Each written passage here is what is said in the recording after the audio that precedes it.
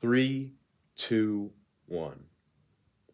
The mask mandate at the University of Nevada, Reno has now been lifted for nearly six weeks. Students have been able to enter buildings and attend classes on campus without having to wear a mask. However, students and faculty can still wear masks if they do not feel comfortable without one.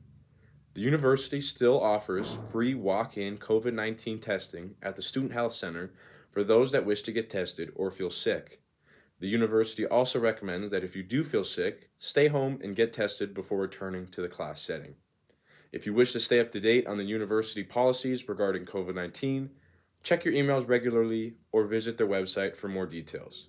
This is John Purdy reporting for the Reynolds School of Journalism at the University of Nevada, Reno.